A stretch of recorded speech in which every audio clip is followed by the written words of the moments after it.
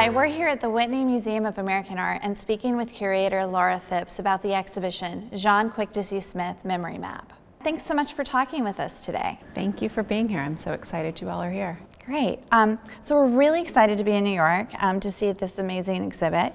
Um, but to begin with, can you just provide us a brief introduction to Smith and then also what Memory Map encompasses? Absolutely. So Jaune Quick to See Smith um, is an artist, an activist, a curator, an educator. Um, she's been working for nearly 50 years. All of these things are a part of um, not only the way she lives her life, but also her artistic practice. And so the exhibition Memory Map is really a retrospective, the largest and most comprehensive retrospective of her work to date. And it includes prints, drawings, paintings, sculpture, and ephemera, and really aims to tell a holistic view of just this incredible artist's practice, her position in the world, and some of the stories that are most important to her. Smith is a citizen of the Confederated Salish and Kootenai Nation. She was born on the St. Ignatius Mission in Montana and grew up between Montana and the Pacific Northwest. She was raised by her father, who was a horse trader, so they had a fairly itinerant um, childhood. And since 1976, she's been living in Corrales, New Mexico, just outside Albuquerque. What about Smith's work drew you as a curator? And then can you share a little bit about the working relationship you had with her building this exhibition? Absolutely. Well, we at the Whitney are incredibly lucky um, to have more than a dozen examples of Smith's work in our collection.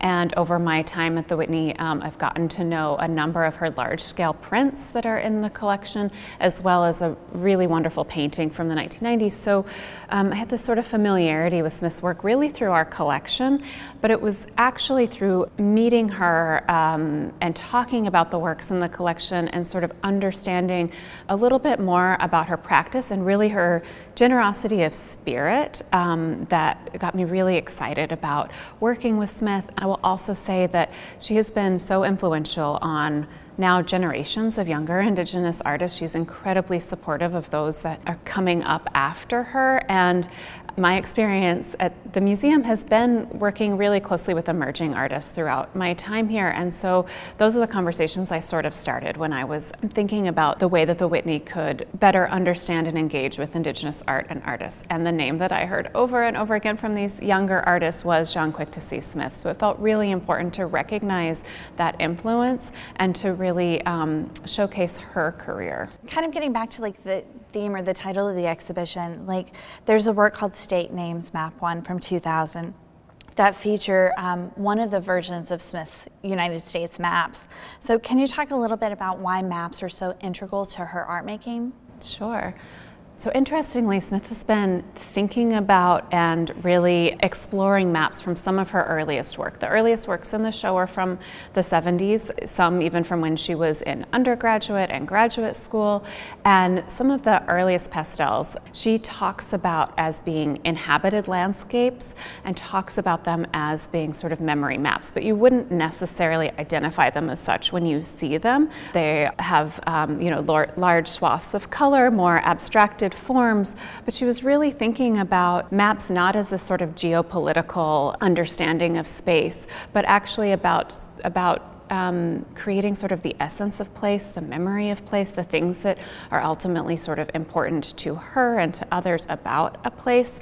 And so the maps are really there from the beginning, but in this sort of more conceptual, maybe, way of thinking about mapping. She started incorporating the more recognizable map of the United States really um, in 1992 with her first map, Indian map. And, you know, she's a student of art history, uh, grew up, you know, studying throughout the 60s and 70s, so was like intimately familiar with the artists that were being shown at the time, being written about. So seeing Jasper Johns and his way of approaching the map and the flag um, really sort of sparked something in Smith thinking about what does it mean for this person to use this form and what would it mean for me to use this form? And so her maps, that she's using sort of the, the recognizable form and often including, you know, these borders, she's really commenting on how arbitrary these borders are, what the sort of geopolitical sort of understanding of borders might mean for people,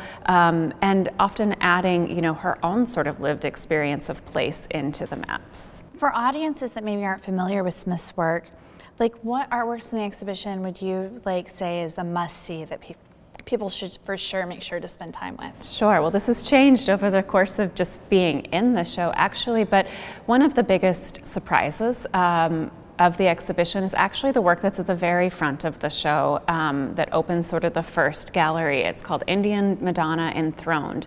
And it's a work that Smith made in 1974. She was actually finishing her undergrad degree. She had a, a bit of a circuitous route to becoming an artist and finishing her education. So, so she wasn't like a 19 year old undergrad. Uh, she had a lot of lived experience, and I think you see that in the maturity of her work from that time. But this Madonna um, is a sculpture. It it doesn't necessarily look like a lot of her other work, which I think is so interesting because in reality, that work contains all of sort of the ideas and the messages and the things that she's thinking about for the next almost 50 years of her career. And just to sort of describe it a little, Smith was, you know, had been in school, was studying and learning about the Italian Renaissance and Madonnas. She was also spending time in New York museums at the time. She was living in Massachusetts and remembers specifically going to MoMA and seeing Marisol and thinking about the way that Marisol was considering the figure.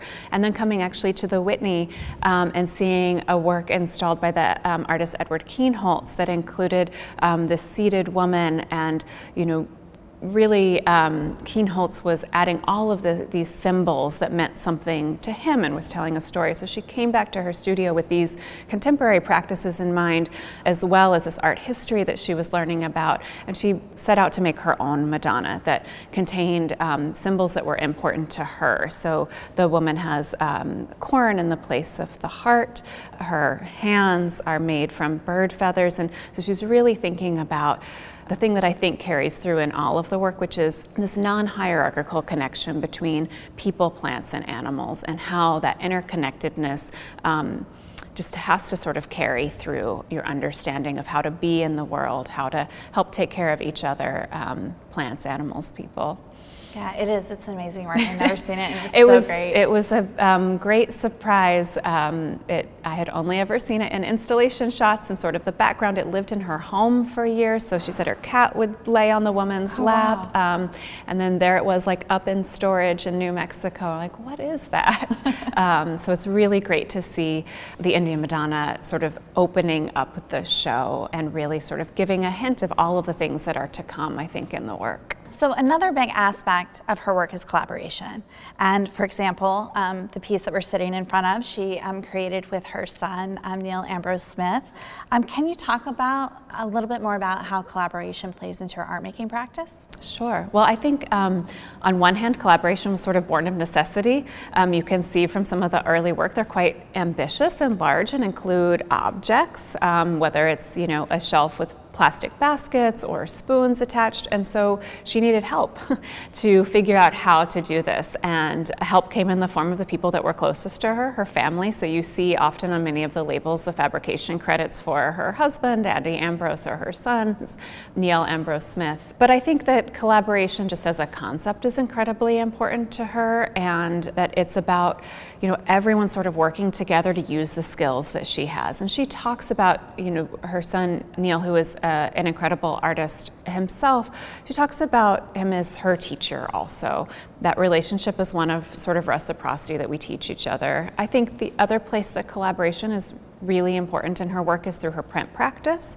Um, she has a really prolific print practice and has printed in shops all over the country, taught workshops as well. And I, that is just inherently a collaborative process. You work with a master printer, you sort of figure out what you can do. Um, and so that's another place that really comes through. And then outside of her artistic practice, her curatorial practice is highly collaborative, um, always bringing um, artists, other thinkers, writers along.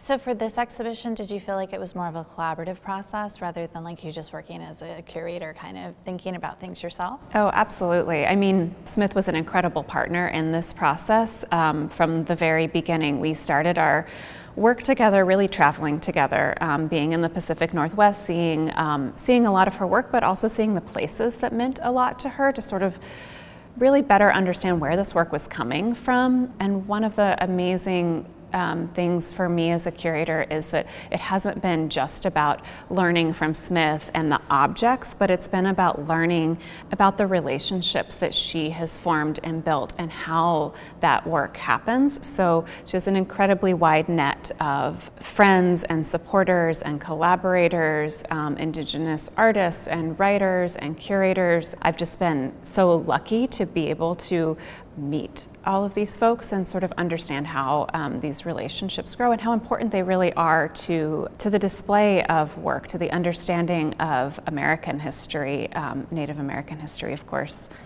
um, an important part of that. So the exhibition will also be traveling to the Modern in Fort Worth. Um, did you always envision um, the exhibition being a traveling exhibition and will it be going anywhere besides New York and Texas?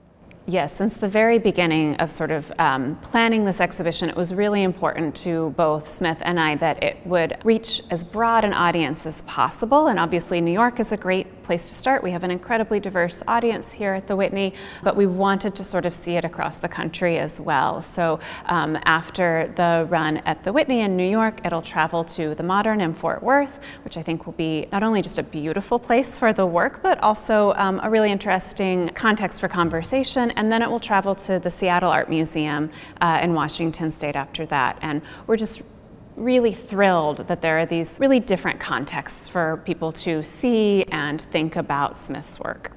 I think the really wonderful thing about this exhibition is that there are a number of different registers on which you can experience it. So there are, you know, some really tough political conversations to be had. There are some overlooked histories to better understand in the work, and those are incredibly important to Smith that those um, stories are told, that these questions are asked.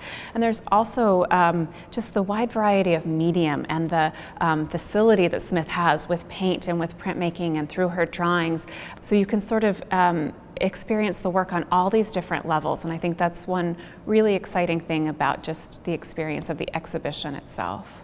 At the symposium, it was actually talked about quite a bit how the um, Whitney is planning to include more Indigenous voices in your exhibition plans. Can you talk a little bit about what we can look forward to seeing at the Whitney in the future? Sure, I think there are um, some really concrete plans around um, the presentation of art. Next week, we'll um, be opening an exhibition with the Santa Clara Pueblo artist Rose B. Simpson of large-scale sculptures out on our terrace. Actually, a unplanned but really happy accident that Smith's show and Simpson's show will be sort of in dialogue in space as well. And then beyond sort of presenting art, I think that there's um, a bigger conversation about um, how it is that we um, share space, um, open up conversations, allow more Indigenous voices and perspectives to really be fully integrated in the way that we think about, about not only our exhibition planning, um, not only our public programs, but really our sort of thinking about the full experience of um, being in the museum, being a museum that's located um, on native land in Lenapehoking, and how these things can sort of um, filter into our thinking about um, our institutional presence.